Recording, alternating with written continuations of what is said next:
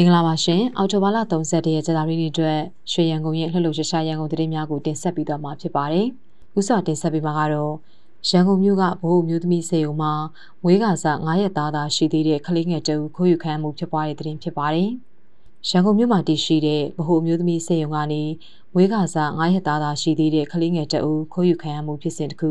အော်တိုဘာ30ရက်နေ့နေ့ပိုင်းချိန်ကဖြစ်ပွားခဲ့တယ်လို့သိရပါတယ်။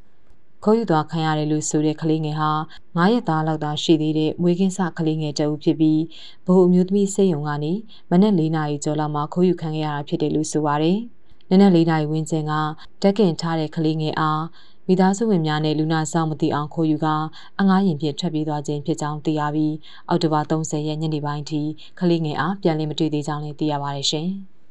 ဆက်လက်တင်ဆက်ပေးမှာကတော့ကိုဒေနာကားကရထားတဲ့ကုန်တင်ကားကိုဝင်တိုက်မိပြီးတအူးသေးဆုံးတဲ့တဲ့တင်ဖြစ်ပါတယ်။အော်တိုဘာ29ရက်ည8:45မိနစ်ခန့်ကရန်ကုန်တိုင်းအင်းစိန်မြို့နယ်ရှိ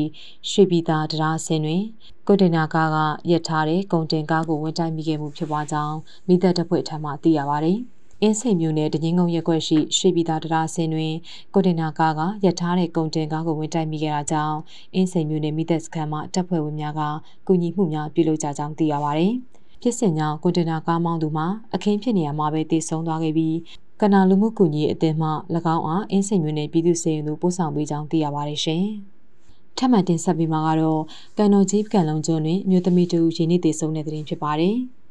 ရန်ကုန်မြို့ရှိကန်တော်ကြီးပကံလုံးကျွန်းတွင်အော်တိုဘာ29ရက်ကအမျိုးသမီးတဦးရင်းနှီးတည်ဆုံကြောင်းသိရပါဗျ။ဖြစ်စဉ်မှာအော်တိုဘာ29ရက်နေ့က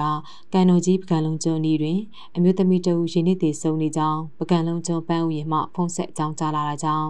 ဒီကာယလူမှုကူညီအသင်းမှတွားရောက်ကူညီဆောင်ပေးခဲ့ကြောင်းသိရပါဗျ။အဆိုပါရင်းနှီးတည်ဆုံနေသောအမျိုးသမီးကိုတွားရောက်ဆေးယူပြီး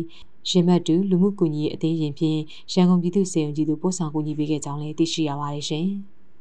နောက်ဆုံးတင်ဆက်ပေးမှာကတော့လုပ်ငန်းလိုင်စင်မရှိဘဲရွှေရောင်းဝယ်မှုများထောင်သုံးနှစ်ချနိုင်တဲ့ပုံမှန်ဖြစ်အရေးယူမယ်လို့ဆိုတဲ့သတင်းဖြစ်ပါတယ်။ရွှေရောင်းဝယ်ဝန်ဆောင်မှုလုပ်ငန်းများအနေဖြင့်လုပ်ငန်းလိုင်စင်ပြန်လည်လျှောက်ထားရယူရမှာဖြစ်ပြီးလုပ်ငန်းလိုင်စင်မရှိဘဲလုပ်ကိုင်မှုများကိုထောင်ဒဏ်၃နှစ်ချနိုင်တဲ့အရေးကြီးကုန်စည်နှင့်ဝန်ဆောင်မှုဥပဒေပုံမှန်ငါဖြင့်အရေးယူခံရမယ်လို့တယံစာတာနှင့်တဘာဝပတ်ဝန်းကျင်ထိန်းသိမ်းရေးဝန်ကြီးဌာနမှသိရပါဗျ။ ဓာတ်သတ္တုရွှေရောင်းဝယ်ခြင်းဝန်ဆောင်မှုလုပ်ငန်းကိုအရေးကြီးဝန်ဆောင်မှုအဖြစ်အဆိုပါဝန်ကြီးဌာနကအမိန့်ကြေညာချက်တရက်ကိုအောက်တိုဘာ25ရက်ကထုတ်ပြန်ခဲ့ပြီး၎င်းထုတ်ပြန်ချက်များနဲ့အညီလုပ်ငန်းလိုင်စင်လျှောက်ထားရယူရန်နဲ့သတ်မှတ်ထားတဲ့စည်းကမ်းချက်များကိုလိုက်နာခြင်းမရှိပါကအရေးကြီးကုန်စည်နှင့်ဝန်ဆောင်မှုဥပဒေပုံမှန်9နှစ်အညီအရေးယူခြင်းခံရမယ်လို့လည်းအသိပေးကြေညာထားကြောင်းသိရပါတယ်။